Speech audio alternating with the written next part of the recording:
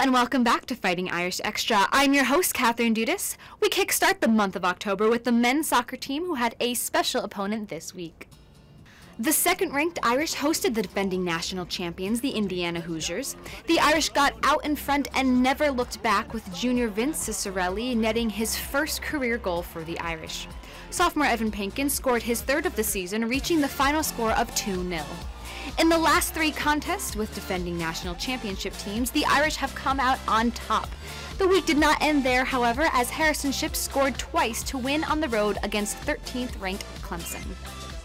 A one-to-one draw with the Demon Deacons of Wake Forest saw freshman goalkeeper Kaela Little's personal shutout streak come to an end at 487 minutes and 29 seconds. The lone Irish goal in the game was scored by junior forward Karin Simonian, assisted by freshman Kaleigh Olmsted. The Irish suffered a disappointing 2-0 upset visiting Miami later in the week. Both women's and men's cross country participated in the Notre Dame Invitational last week. The teams placed 6th and 7th respectively. Leading the Irish squads were graduate student Jeremy Rae and senior Kelly Curran. Rae finished 5th for the men and Curran placed ninth in the women's. Both squads will next compete in the Wisconsin Adidas Invitational in two weeks. It was a tough week for Irish volleyball. They battled hard against Duke, losing 3 1. Junior Toni Alugbue had a match high 20 kills. And on Friday, it was a back and forth match against Wake Forest. The team split 44 ties and 16 lead changes before Wake took the match in five.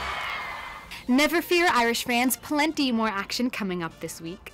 Men's soccer hosts Maryland at Alumni Stadium on Tuesday night at 7 p.m., then travels to Virginia Tech on Friday.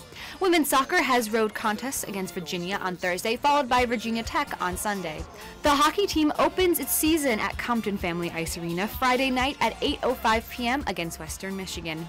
They complete the home away series Saturday with puck drop at 7.05 p.m. Remember to like us on Facebook at facebook.com slash fightingirish. Follow us on Twitter at Fighting Irish and follow us on Instagram at The Fighting Irish.